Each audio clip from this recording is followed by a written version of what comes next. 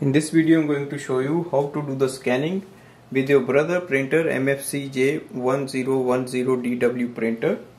Now you can use the top scanner for scanning IDs and documents. If you want to do multiple scannings then you can use the top feeder tray. I'm going to use the top feeder tray. So you take multiple pages for the scanning.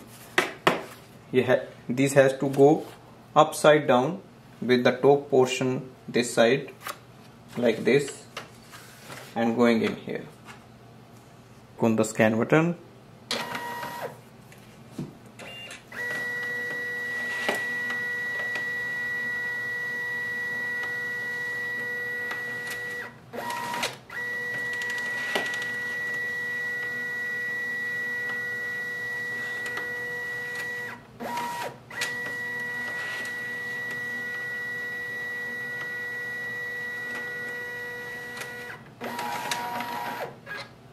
so all the three pages are scanned. I can show you here.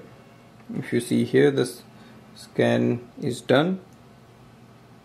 If you want you can add more pages or click on the done button. You can save it as a PDF or JPEG. So all three pages are available here. So this way we can do the scanning with this printer. Thanks for watching